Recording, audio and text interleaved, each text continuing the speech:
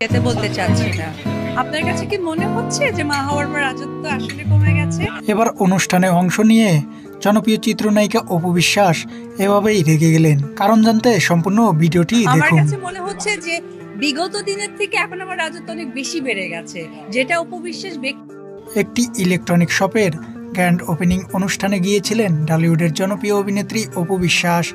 ব্যক্তিটা জানেন আমি আসলে মানে সব সময় আমার হচ্ছে কি কাজের সাথে পছন্দ করি। আমি এমন সময় তিনি সাংবাদিকদের প্রশ্নের উত্তর দেওয়ার জন্য আসেন।